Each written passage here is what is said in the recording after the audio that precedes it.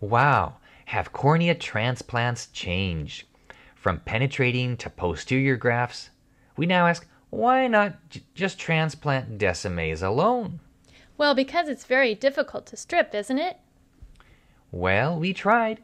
We were very careful, but it was hard to see. The membrane kept tearing and clumping. It looks like a wet cat's hair sticking to itself and clinging to the body. Then we realize the power of water with its strong intermolecular forces. But hey, look at the cat in the tank. The hair underwater stands out normally. Can we overcome this water power? The power of surface tension by going under the surface? Let's dive in and see. In this video, we present the scuba technique of harvesting Descemet's membrane simply and consistently. First, by submerging the cornea, we eliminate surface tension, and secondly, by elevating the cornea, we enhance visualization by blurring the confusing backgrounds away. The cornea comes in a nice viewing chamber. While the outside is not sterile, it provides this ideal setup. The required instruments include toothed and non-toothed forceps. But what are the steps of the surgery? That's simple scoring, smoothing, and stripping.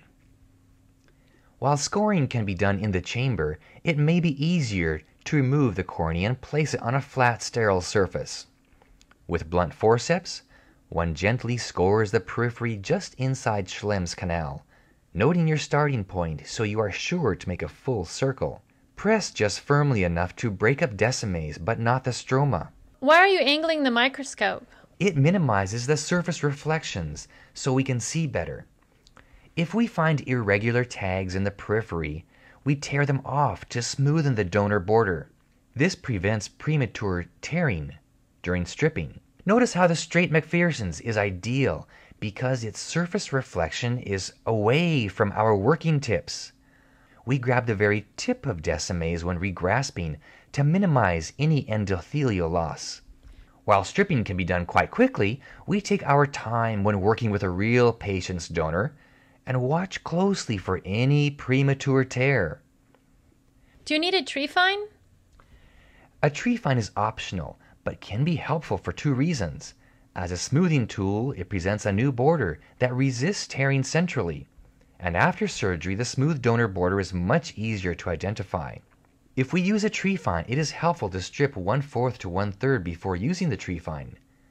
Then we can easily continue the stripping. After stripping, the donor can be stained with trypan, either in the bowl of the cornea or in a separate container. Can all donors be stripped this easily? Well, most, but not all. You may have to work around a rare posterior scar or a crack in Descemet's. Also, in young donors like this 8-year-old, the membrane is thinner, more adherent, and more fragile. This case was converted to a standard PLK using a microkeratome with a good outcome. We hope you enjoyed this video and it has stirred up your creative imaginations, providing helpful options for your patients.